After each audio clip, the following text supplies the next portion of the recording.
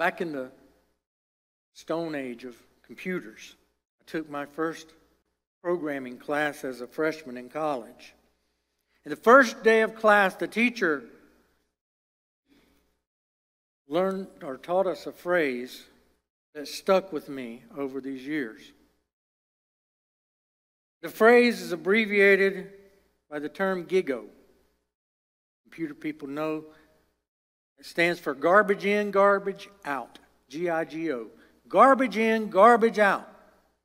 And my professor told us that the information we put into the computer, if it was garbage, if it was not correct, then what we got out from the computer would also be incorrect. It would also be garbage.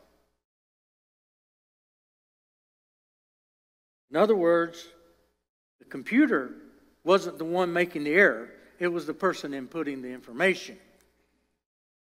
Now, computers have changed dramatically since then.